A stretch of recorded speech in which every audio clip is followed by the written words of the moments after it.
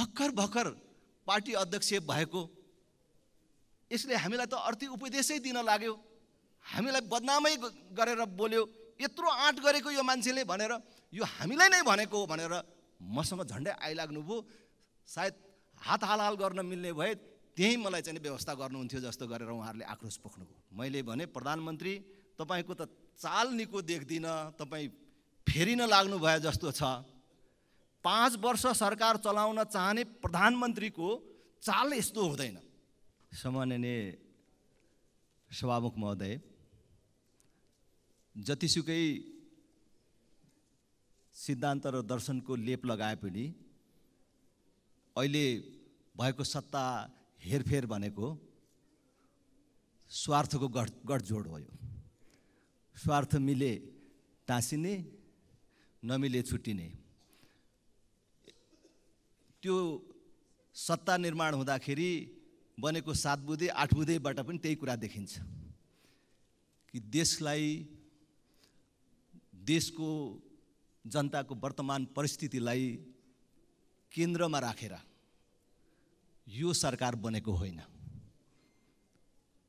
सत्ताको भागबन्डा अनि कसले के केबाट सुरक्षित हुनुपर्ने हो? यो सत्तालाई आफ्नो सुरक्षा कवचको रूपमा प्रयोग गर्ने उद्देश्यद्वारा यो गठबन्धन निर्माण भएको हो।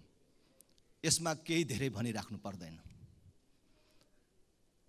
त्यो परिमार्जित सात बुधा होस् अघिल्लो आठ बुधा होस् त्यसले छर्लङ्ग पार्छ। त्यसकारण राष्ट्रिय प्रजातन्त्र पार्टीले प्रारम्भमा पनि भनिसकेको छ यो सत्ता केन्द्रित चलखेलमा राष्ट्रिय प्रजातन्त्र पार्टी सहभागी हुँदैन। र यो सत्ता केन्द्रित र मैले अगाडि भनेका विषयहरूमा केन्द्रित गठबन्धनलाई राष्ट्रिय प्रजातन्त्र पार्टीले विश्वासको मत दिँदैन। यसमा मैले धेरै भनिराख्नु परेन। यहाँ उभिएर धेरै तितो पोख्न पनि छैन। तर कमसे कम यो कस्तो भयो कि राजनीतिमा त हामी पनि सँगै छौँ। सबै नीतिहरूका पनि मूल नीति चाहिँ राजनीति हो। जबसम्म राजनीति सुध्रिँदैन तबसम्म देश सुध्रिँदैन। हाम्रो समाज सुध्रिँदैन भन्ने मान्यताका साथ लागेको मान्छे भएको हुनाले राजनीति राम्रो होस् राजनीतिमा रहेका मानिसहरू राम्रो हुन् भन्ने चाहना रहन्छ। म कुनै दलको नेता बदनाम होस् कुनै दल बदनाम होस् भन्ने मलाई लाग्दैन। किनभने अहिले समाज राजनीतिप्रति यति उदासीन बन्दै गयो कि समाजको राजनीतिप्रतिको विश्वास र राजनीतिको नेताप्रतिको विश्वासै मर्दै गएको अवस्था छ। हामीले जतिसुकै ढाकछोप गरौँ जतिसुकै ठुल्ठुला कुराहरू गरौँ मैले नेपाली काङ्ग्रेसको चौधौँ महाधिवेशनमा दुई वर्ष अगाडि भनेको थिएँ त्यसबेला नेताहरूलाई यो भर्खर भर्खर पार्टी अध्यक्ष भएको यसले हामीलाई त अर्थी उपदेशै दिन लाग्यो हामीलाई बदनामै गरेर बोल्यो यत्रो आँट गरेको यो मान्छेले भनेर यो हामीलाई नै भनेको भनेर मसँग झन्डै आइलाग्नुभयो सायद हात हालहाल गर्न मिल्ने भए त्यहीँ मलाई चाहिँ व्यवस्था गर्नुहुन्थ्यो जस्तो गरेर उहाँहरूले आक्रोश पोख्नुभयो। तर म आज पनि भन्छु नेताका प्रति जनताको सोचमा परिवर्तन भएको छैन होइन? नेताका प्रति राजनीतिका प्रति जनताको त्यो विश्वासमा झन् क्षयीकरण हुँदै गएको छ।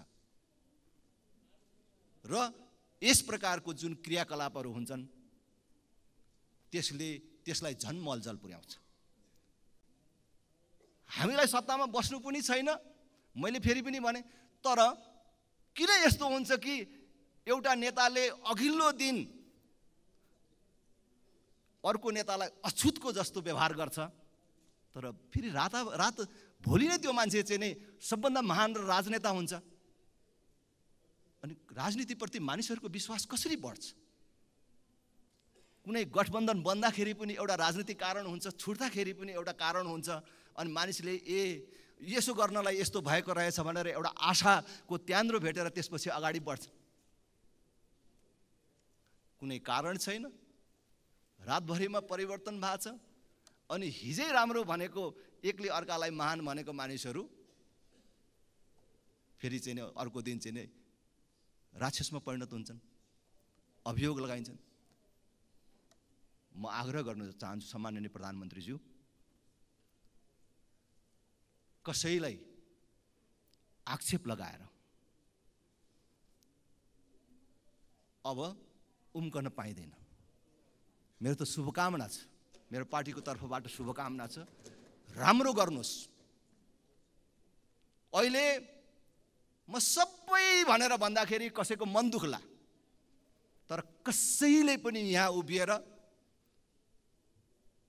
सुशासनको गफ दियो। अब भ्रष्टाचार रोक्नुपर्छ कमिसन तन्त्र रोक्नुपर्छ देशमा विकासको लहर चलाउनुपर्छ। अब हाम्रो ध्यान त्यहाँ हो भनेर भाषण गर्दा कसैले पत्याउँदैन। फोहोरको डुङ्गुरमाथि बसेर शुद्धताको मन्त्रोच्चारण गरेको कुरा कसैले चाहिँ मन पराउँदैन। त्यो सुहाउँदैन।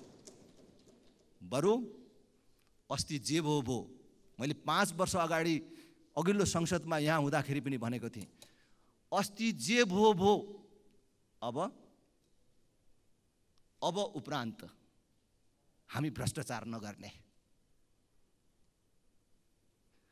अब उपरान्त न्यायाधीशलाई आफ्नोमा बोलाएर यस्तो फैसला गरिदिनु पर्यो भनेर नभन्ने भनौँ न।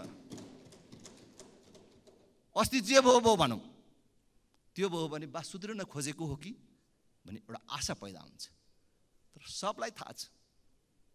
तपाईँले न्यायाधीशलाई बोलाएर यति कर घटाइदेऊ यति दण्ड घटाइदेऊ यसलाई जिताइदेऊ यति हराइदेऊ भनेको थाहा छ। ठुल्ठुलो भ्रष्टाचार काण्डमा तपाईँका संलग्न मैले फेरि प्रधानमन्त्रीजीलाई भनिराखेको छुइनँ। कुनै व्यक्तिलाई भनिराखेको छैन। तपाईँको भन्दाखेरि फेरि यहाँ चाहिँ संसदीय मर्यादा उल्लङ्घन भएको कुरा भनेर मैले सिद्धान्तको कुरा भनेको छु। तपाईँ चाहिँ नि हिजो ठुल्ठुलो भ्रष्टाचार काण्डमा आफै संलग्न हुनुभएको छ तपाईँको नाम मुछिएको छ तपाईँले यहाँ आएर ठुल्ठुलो कुरा गर्दा कसैले पनि पत्याउँदैन त्यसकारण हामीले व्यवहारमा परिणत गर्ने प्रयत्न गरौँ। म स्मरण गराउन चाहन्छु सम्माननीय प्रधानमन्त्रीजीसँग हामी छोटो समय सहकार्यमा थियौँ। प्रधानमन्त्रीले केही दिनमै चाल फेर्नुभयो मैले यसो हेरेँ म त प्रधानमन्त्रीहरूसँग त्यत्रो लामो सङ्गत गरेको पनि होइन सरकारमा बस्ने मौका पाएको मान्छे पनि होइन तर प्रधानमन्त्रीको चाल निको लागेन। मैले भने प्रधानमन्त्री तपाईँको त चाल निको देख्दिनँ तपाईँ फेरि लाग्नु भयो जस्तो छ। पाँच वर्ष सरकार चलाउन चाहने प्रधानमन्त्रीको चाल यस्तो हुँदैन। तपाईँसँग पूर्ण बहुमत छ एमाले साथमा छ राप्रपा रासोपा भइसकेपछि तपाईँलाई पाँच वर्ष कसैले हल्लाउन सक्दैन। तर तपाईँको चाल निको देख्दिनँ प्रधानमन्त्रीज्यू भनेर मैले भने तपाईँ फेरि नै लाग्नुभयो जस्तो देखिन्छ। कन्टिन्यू गर्न चाहने प्रधानमन्त्रीको चाल यस्तो हुँदैन। प्रधानमन्त्रीज्यू भन्दाखेरि उहाँले मलाई म अलि फेरि न फेरि न लागेको छु राजेन्द्रजी भनेर उहाँले मलाई भन्नु तपाईँले ठिक्कै भन्नुभयो भनेर भन्नुभयो। यदि उहाँले अन्यथा मान्नुहुन्न भने प्रधानमन्त्रीले त्यसो भन्नु। अनि मैले के भने तपाईँको जीवनको यो अन्तिम गल्ती पनि हुनसक्छ भनेर मैले भने उहाँलाई। मलाई केही आपत्ति छैन। म एउटा सुविचारका साथ सरकारमा नआउनु पर्ने पार्टी र मान्छे आएर आएको छौँ तर यो तपाईँको जीवनको अन्तिम गल्ती हुनसक्छ भनेर भनेको थिएँ। उहाँ यहाँसम्मै तानिएर आइपुग्नु भएको छ र फेरि नयाँ अर्को चाल चाल्नु भएको छ। म फेरि पनि भन्छु प्रधानमन्त्रीको जीवनको अन्तिम गल्ती यो नभनोस्। मानिसहरूको जीवनमा गल्ती हुन्छन्। गल्ती सच्याउने मौका पनि हुन्छ। तर कहिले काहीँ गल्ती यस्तो बनिदिन्छ कि फेरि सच्याउँछु भन्दाखेरि मौका आउँदैन। त्यो सच्याउने मौका हुँदैन। त्यस्तो नभनोस् र म अरू सबै राजनीतिक दल र नेताहरूलाई पनि आग्रह गर्छु अब यहाँ उभिएर तपाईँहरूले राजालाई धर्मलाई गाली गरेर अब स्याबासी पाउनुहुन्न। त्यो दिन सकियो। कुनै समय थियो राजालाई गाली गरेर हिन्दू धर्मलाई गाली गरेर तात्कालीन व्यवस्थालाई गाली गरेर वाहवाही कमाउने समय थियो। त्यो भ्रमबाट मुक्त हुनुहोस्। अब गरेर देखाउने समय आयो। तपाईँले गरेर देखाउनु भएन भने? तपाईँले गलत भनेको चिज नै ठिक रहेछ भनेर मानिसले मान्ने दिन आइहाल्छ। र हामी जस्तो मानिसहरू पनि यो संसदमा छौँ। हामी अल्पमतमा होला सानो सङ्ख्यामा होला। तर तपाईँले अहिलेको दुनियाँको सर्वोत्तम व्यवस्था र हामीले ल्याएको व्यवस्था भनेर जुन गणतन्त्रको चाहिँ व्याख्या गरिराख्नु भएको छ? गणतन्त्रको नाममा अहिले जुन प्रकारको लुटतन्त्र मचिराखेको छ त्यस त्यो लुटतन्त्र नै तपाईँको गणतन्त्र हो भने त्यो गणतन्त्रको हामी सधैँ विरोध गरिराख्छौँ र त्यसको विपक्षमा उभिराख्छौँ सडकमा पनि विरोध गर्छौँ सदनमा पनि विरोध गर्छौँ र जुन बेला हैसियत पुग्छौँ त्यस बेला पल्टाउँछौँ। त्यसमा हाम्रो मुख थुन्न सक्नुहुन्न तपाईँ। धेरै धेरै धन्यवाद। म प्रधानमन्त्रीज्यूलाई शुभकामना चाहिँ व्यक्त गर्छु। धन्यवाद।